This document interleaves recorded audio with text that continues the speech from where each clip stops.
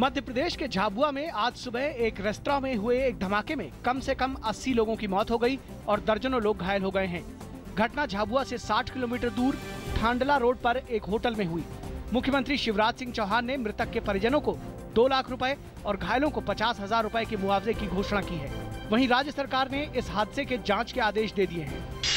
बिहार विधानसभा चुनावों के लिए एनडीए के घटक दलों के बीच सीटों के बंटवारे पर सहमति बन गई है और आज शाम को इसकी औपचारिक घोषणा की जाएगी। शाम को भाजपा अध्यक्ष अमित शाह की मौजूदगी में इसका औपचारिक ऐलान किया जाएगा। सीटों के बंटवारे को लेकर रामविलास पासवान की लोक जनशक्ति पार्टी, उपेंद्र कुशवाहा की राष्ट्रीय लोक समता पार्टी और जीतन राम मांझी की हिंदुस्तान आवाम मोर्चा के बीच पिछले कुछ दिनों से बातचीत चल रही थी। सीमा सुरक्षा बल और पाकिस्तान रेंजर्स के महानिदेशक स्तर की तीन दिन की बातचीत आज समाप्त हो गई। दोनों पक्षों ने वार्ता के संयुक्त रिकॉर्ड पर हस्ताक्षर भी किए। सीमा सुरक्षा बल के महानिदेशक ने कहा कि पाकिस्तानी शिष्टमंडल के साथ बातचीत सद्भावपूर्ण, व्यवहारिक और भविष्य के लिए उपयोगी रही। केंद्रीय शहरी विकास और संसदीय कार्य मंत्री एम वेंकैया नायडू ने काफ़ी समय से लंबित पड़े वस्तु एवं सेवा कर विधेयक को पारित होना देश की अर्थव्यवस्था के लिए बेहद ज़रूरी करार दिया। उन्होंने कहा कि लोकतंत्र में सबको विरोध करने का अधिकार है, लेकिन साथ ही संसद का कामकाज भी चलने देना चाहिए। सिकंदराबाद से मुंबई जा रही दुरंतो एक्सप्रेस के गुलबर्ग के पास मरतूल में पटरी से उतर जाने की वजह से दो यात्रियों की मौत हो गई और पंद्रह अन्य घायल हो गए। दुरंतो एक्सप्रेस के नौ डिब्बे पटरी से उतर गए। इस बीच रेल मंत्री ने घटना की जाँच के आदेश जारी किए हैं। घटना के कारणों की जाँच मध्य क्षेत्र के रेल सुरक्षा आयुक्त द्वारा की जाएगी। रेलवे ने मृतकों के परिजनों को दो दो लाख रुपए का मुआवजा और गंभीर रूप से घायलों को पचास हज़ार रूपए का मुआवजा देने की घोषणा की है। सऊदी अरब के ऐतिहासिक मक्का मस्जिद में हुए क्रेन हादसे में मृतकों की संख्या 107 हो गई है वहीं भारतीय विदेश मंत्रालय ने बताया है कि मृतकों में दो भारतीय भी शामिल हैं। पंद्रह अन्य भारतीय घायल हैं। मालूम हो, इस महीने के आखिर में शुरू होने वाली मुस्लिमों की हज यात्रा से चंद दिनों पहले सऊदी अरब के ऐतिहासिक मक्का मस्जिद में शुक्रवार को भयानक हादसा हो गया तेज धूल भरी आंधी की चपेट में आने से मस्जिद में जारी निर्माण कार्य में लगी एक क्रेन के अचानक गिरने से 107 श्रद्धालुओं की मौत हो गई। अखिल भारतीय विद्यार्थी परिषद यानी एबीवीपी ने दिल्ली विश्वविद्यालय छात्र संघ चुनाव में शानदार प्रदर्शन करते हुए सभी चार सीटों पर जीत दर्ज की है। एबीवीपी ने लगातार दूसरे वर्ष सभी चारों सीटें जीती।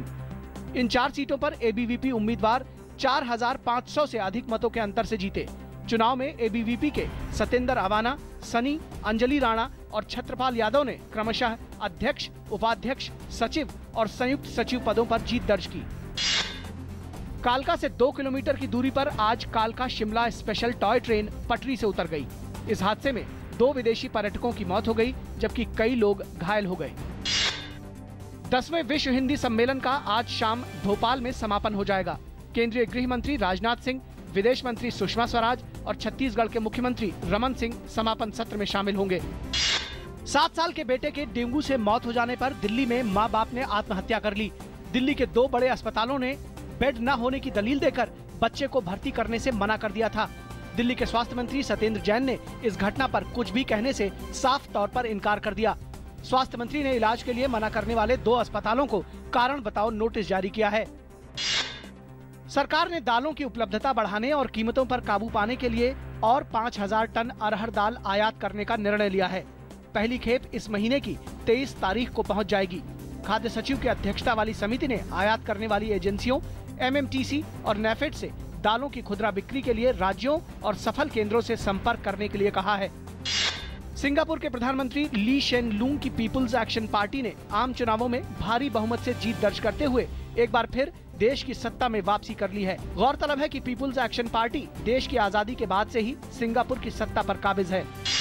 जापान में मूसलाधार बारिश के कारण आई बाढ़ में कम से कम 25 लोग लापता हो गए हैं और एक लाख से अधिक लोगों को घर छोड़ने को मजबूर होना पड़ा है। बारिश की वजह से नदियों के बाँध टूट गए हैं, जिससे कई घर पानी में बह गए और कई घर भूस्खलन में तबाह हो गए।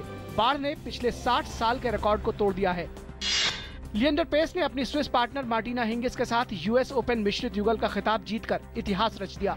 चौथी वरीयता प्राप्त भारतीय स्विस जोड़ी ने फाइनल में अमेरिका के बेथानी मैटेक सैंड्स और सैम क्वेरी को छह चार, तीन छह और दस सात से हराया और इस सत्र का तीसरा बड़ा खिताब मिलकर अपने नाम कर लिया।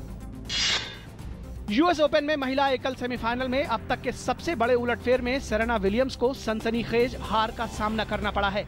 छह बार की यूएस ओपन चैंपियन और विश्व की नंबर एक खिलाड़ी सेरेना विलियम्स को बाहर का रास्ता दिखाया इटली की रॉबर्टा विंची ने। पहली बार ग्रैंड स्लैम सेमीफाइनल में खेल रही विंची ने यह जीत दो छह छह चार छह चार से हासिल की।